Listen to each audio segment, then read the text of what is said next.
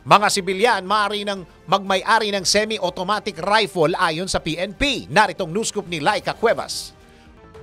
Maaari ng magmay-ari ng semi-automatic rifle ang mga sibilyan. Ito ang inanunsyo ng Philippine National Police kasunod ng kanilang ginawang pag-amyenda sa ilang probisyon sa Implementing Rules and Regulation ng Comprehensive Firearms and Ammunition Regulation Act. Ayon kay PNP spokesperson Colonel Jean Fajardo, partikular ang 7.66mm pababa na baril at semi-automatic rifle sa pwede ng palisensyahan. Nauna nang bumuo ng technical working group ang mga pulis para amyendahan ang IRR ng Comprehensive Firearms and Ammunition Regulation Act at naibigay na ang mga ito sa University of the Philippines Law Center para mailathala.